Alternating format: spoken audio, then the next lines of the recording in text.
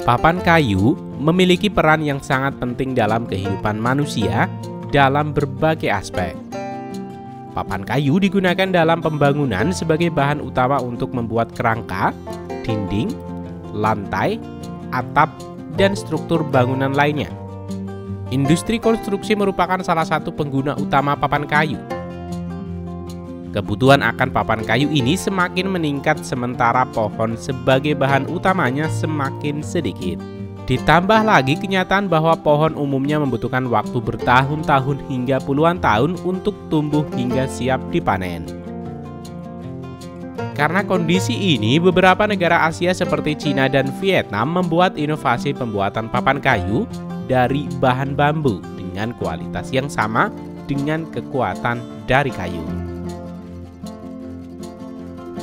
Sebagai bahan dasar pembuatan papan yang kuat dan dapat menggantikan kayu.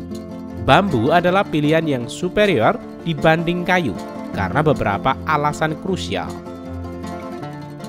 Pertama, bambu memiliki kualitas tensil yang luar biasa, bahkan melebihi kayu keras seperti X dan kayu jati. Selain itu, bambu tumbuh dengan cepat dan dapat dipanen dalam waktu 3 hingga 5 tahun. Jauh lebih singkat dibanding kayu keras yang membutuhkan dekade untuk pertumbuhannya. Kestabilan dimensi bambu yang baik membuatnya lebih tahan terhadap perubahan iklim. Sementara aspek keberlanjutan bambu menjadikannya pilihan ramah lingkungan yang mengurangi tekanan terhadap hutan alami. Proses pengolahan bambu menjadi panel-panel plywood juga relatif mudah dan dapat dilakukan dengan teknik yang sederhana, memungkinkan variasi dalam desain produk yang inovatif dan estetis. Dengan kombinasi kekuatan, keberlanjutan, dan kemudahan pengolahannya, bambu memberikan alternatif yang menarik untuk berbagai aplikasi konstruksi dan industri. Pada video kali ini, Rekayasa Produksi akan mengajak kalian untuk melihat tahapan proses pembuatan bambu menjadi papan kayu berkualitas yang mulai diterima di pasaran.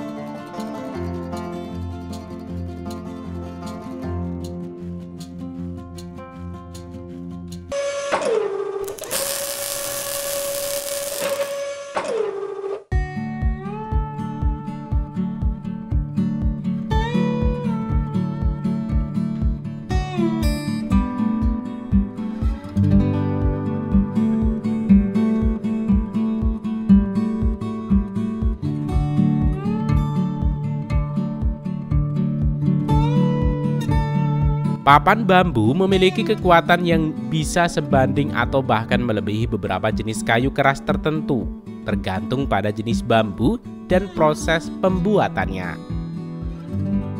Beberapa keunggulan utama papan bambu dibanding papan kayu pada umumnya meliputi kekuatan tensil yang tinggi, kemampuan regenerasi bambu yang cepat, ringan, ketersediaan dan harganya.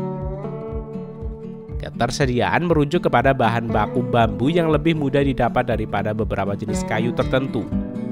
Walau papan kayu masih belum mudah ditemukan di semua tempat untuk saat ini. Namun di balik beberapa keunggulan tersebut, material ini juga memiliki beberapa batasan dalam penggunaan bambu.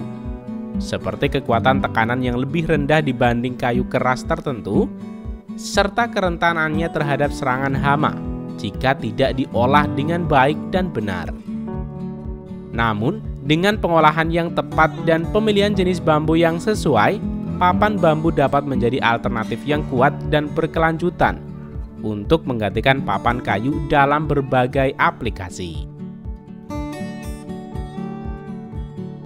Proses produksi pembuatan papan bambu dimulai di hutan bambu sebagai sumber daya hutan terbesar kedua, sebagai bahan yang cepat lestari dan dapat diperbaharui dengan sendirinya. Pekerja memilih batang bambu berukuran 4-6 tahun yang memiliki spesifikasi ukuran, kekuatan, dan kualitas serat yang disyaratkan. Diameter bambu yang digunakan untuk pembuatan papan biasanya memiliki diameter minimal 5 hingga 10 cm namun diameter yang lebih besar lebih diutamakan. Ketebalan dinding bambu yang ideal berkisaran antara 5 hingga 15 mm. Ketebalan ini memberikan keseimbangan antara kekuatan dan fleksibilitas. Berikutnya, seorang pekerja akan mengukur diameter bambu, dan pekerja lainnya akan menandai bambu-bambu yang memenuhi kriteria, baik dengan pita berwarna merah atau biru sesuai dengan ukurannya. Setelah semua bambu selesai ditandai, tim penebang akan diturunkan untuk memanen bambu-bambu ini. Selanjutnya, bambu-bambu ini akan dipotong menjadi beberapa bagian untuk mempermudah proses pengangkutannya. Bambu ini akan dinaikkan ke truk yang selanjutnya akan diantar ke pabrik produksi. Bahan baku bambu dari hutan ini akan langsung diolah untuk melalui proses panjang sebelum menjadi papan. Pertama, bambu akan dipotong dengan gergaji sesuai dengan kebutuhan papan, biasanya dipotong dengan panjang antara 1 hingga 3 meter, tergantung jenis produk yang akan dibuat. Berikutnya, batang atau ruas bambu ini akan dibelah menjadi potongan-potongan yang lebih kecil.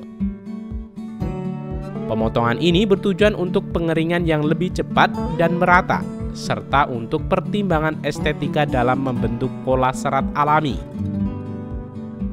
Potongan-potongan bambu ini kemudian dilewatkan mesin yang akan mengikis kulit luar dan kulit dalam. Langkah berikutnya, potongan bambu dikelompokkan dan disusun secara berlapis-lapis untuk selanjutnya dimasukkan ke mesin pengeringan. Pengeringan ini tidak hanya bertujuan untuk mengurangi kadar airnya, tetapi juga bertujuan untuk mengekstrak gula, pati, dan nutrisi dari serat bambu, sehingga tidak menyisakan makanan sedikit pun bagi serangga dan jamur untuk mencapai ketahanan dan daya tahan yang tinggi melalui proses perlakuan panas yang dipatenkan. Sehingga tidak ada data yang berisi mesin yang digunakan, metode, dan lama proses pengeringan yang dipublikasikan oleh pabrik. Umumnya, proses pengeringan ini memakan waktu beberapa hari tergantung pada metode pengeringan yang digunakan. Karena diproses dengan suhu tinggi lebih dari 200 derajat Celcius. Setelah keluar dari mesin pengeringan, bambu alami berubah menjadi berwarna espresso. Kemudian serat bambu direndam dalam resin vanilik dinia yang selanjutnya akan ditata sesuai dengan pola yang dibuat dan dimasukkan ke mesin pengepresan. Mesin pengepresan panas seberat 1200 ton akan memandu bambu yang telah diolah dan resin vanolik serta dilengkapi dengan panel bambu Deso XTR berkepadatan tinggi yang mana bambu keluar dari mesin ini dalam kondisi sudah menjadi papan bambu yang padat dan mengkilap.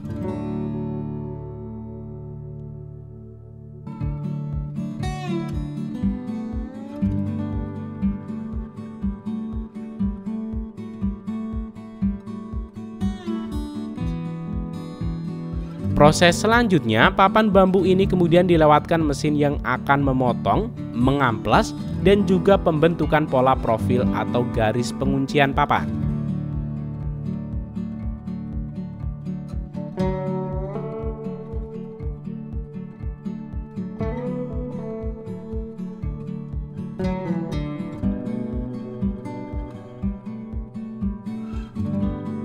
Pola profil ini dapat beralur V atau halus, lap, atau beralur pada sisi yang panjang, dan sambungan lidah dalam alur pada ujung pendeknya.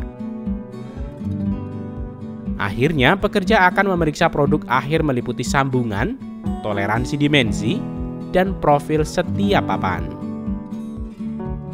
Setelah papan memenuhi syarat, papan ini akan dikirim ke proses akhir yaitu pengaplikasian minyak luar seperti VOCA agar tampilannya lebih alami dan dapat berumur panjang dan tidak mudah pudar yang disebabkan oleh sinar UV matahari. Sebelum papan ini didistribusikan ke para pelanggan, papan ini akan menjalani sekali lagi tes kontrol kualitas dan inspeksi yang ketat.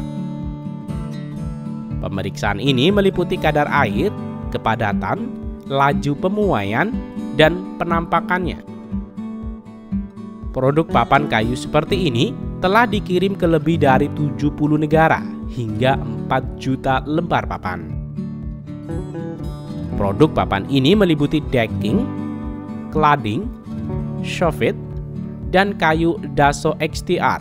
Telah banyak digunakan dalam berbagai proyek arsitektur dan landscape komersial, dan juga residensial secara global.